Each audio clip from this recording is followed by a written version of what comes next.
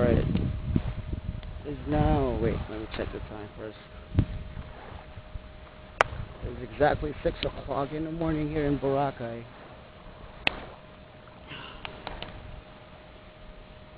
As you can see, no people yet. There's a party going on tonight at Yili, so let's see what's gonna happen.